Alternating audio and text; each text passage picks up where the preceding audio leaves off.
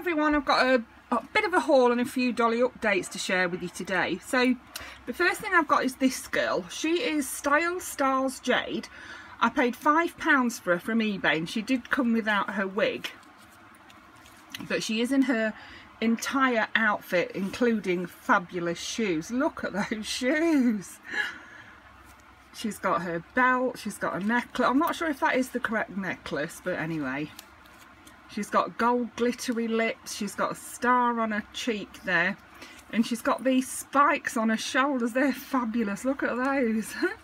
she did come without a wig, but what I have is a Liv wig with the nub cut out. And I'm just going to pop that on her because that is very similar to one of the wigs that she wears. She should have like a, a mint green one with space, little space buns and then she's got this white one and I thought that one this one is almost a perfect match for the for that wig. So that's what she's going to have.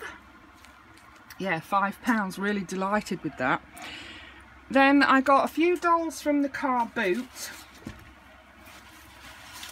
So I got now I think she's my scene Barbie but she's look at her she's absolutely filthy bless her she needs a really good clean, she needs a hair doing and she needs redressing. And the dress she's in is really pretty and I believe it's a Barbie dress. It does have a Barbie tag in it, the dress does, but the dress is, is filthy, it needs a really good clean.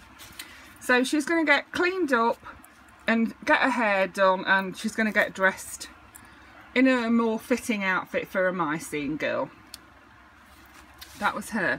I got three dolls for 250 she was one of the dolls. The second doll I got was this one. She's got a pretty face and she's got that really fine fluffy hair but she's got a fully articulated body and I really like her outfit. I like her top and I like her pleather trousers. She was the second one of the three for 250 and then the third one was Magic of Pegasus Prince Aidan. Um, he needs a bit of a hairdo, but he's got most of his outfit. He's missing his crown and he's missing his belt, but I think he can get away without his belt, no problem. He needs a clean and a tidy up, and other than that, he'll be fine. I actually bought him because he's fully articulated, but I don't know whether I can... I haven't got a Prince Aidan, so I don't know if I can bring myself to behead him. That is yet to be decided. So those were the three dolls for 250 those three there. Then another eBay doll I got was this one. She is the 2002 Holiday Barbie. The collect well, I don't know if she's a holiday Barbie, but she's 2002 collector's edition Barbie, and she has a 2002 necklace on.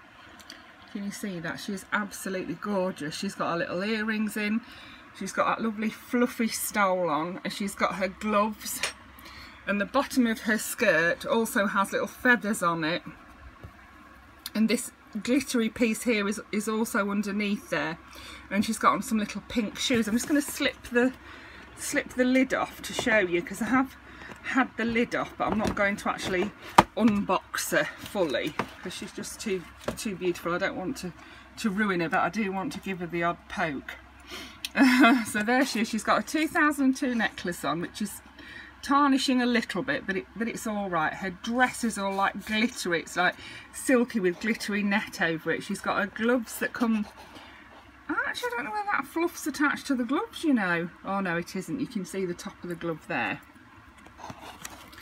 She's got on really cute little pink shoes there. I like those. They match her dress perfectly yeah she's absolutely beautiful. Have a look at that face a bit better now. We've not got the glare of the box. She really is pretty isn't she? I paid 25 pounds for her. I've been watching her for a while and she was a little bit out of my price range and then she was reduced so I snapped her up. So the next thing I have is some outfits some Ken doll outfits. I paid I think £3.50 for these outfits and they're these, they're the ones from China and they need the velcro sewing on properly. But other than that, so we've got like a shirt and shorts or I don't know if it's pyjamas it might be pyjamas I suppose you could wear it as either couldn't you? And I suppose you could mix and match. Again they just need the velcro sewing on or gluing on properly then we've got these pleather pleather like trousers. I like those. Again they need the velcro gluing on properly but other than that you can see that the velcro's not I don't know why they do that but they do. This t-shirt I really like that shirt actually. It was worth three quid on its own I thought and then this pair of shorts they're a bit longer. You know they need the threads cutting off and they need tidying up a bit but for three pounds honestly I thought it was a really good deal. Then we've got this shirt. I think that says love on it. Stripy shirt with love on it. Short sleeves velcros up the back. Another pair of those shorts. And then a plain blue shirt with that one. They just want a little bit of tweaking these clothes do. And then these white shorts you can see look the sewing's a bit but for three pounds honestly a little bit of work and they're going to be perfect. And it's not going to take a lot of work to sort them out it really isn't. And then this very loud shirt which yeah so, so you can mix and match all of those outfits so what I'm going to do is I'm going to get some Ken dolls out and try them on and we'll have a bit of a fashion show in a minute. And then the final doll I've got is Yoko. Now I do already have a Shibajuku Yoko but she was £10 from Home Bargains and my plan is to try putting a Barbie Fashionista's head on her body because she's the same size body-wise as a Barbie and she's fully articulated and I love her clothes so I thought I might just give it a try and see how it goes so I'll be back in a minute to show you how I got on with that. Okay so my head swapping and doll clothes trying on is, has gone very well so we'll start with the with the Ken fashions. Here I've got a Ken head on a Hunter Huntsman body from Ever After High and they fit him perfectly. They really do. The shorts fit him really well and the, the jacket does as well. They fit him really well. Really pleased with that. Then I've tried this outfit on a Bratz boy and they fit him alright they are loose around the waist but the tightness of the top holds that holds them on. They're fine. You know if you're short of clothes for your boy dolls for three pounds for these 10 items I don't think you can go wrong I really don't. I think that for that price, well worth the money. So that's him. That's Cade. Then we've got Owen. He's a Moxie boy. He's wearing the, well I think the pyjamas. But I suppose if you paired the, the shirt with a with a pair of plain shorts and the shorts with a different top, you know, there wouldn't have to be pyjamas. But I'm, I'm saying there is pyjamas. They're a little bit loose, but nothing you can't get away with. Yeah, quite quite good, I think. So that was the Moxie boy. Then I've got a My Scene boy. He's got the love top on and the shorts on, and they fit him perfectly. They really do.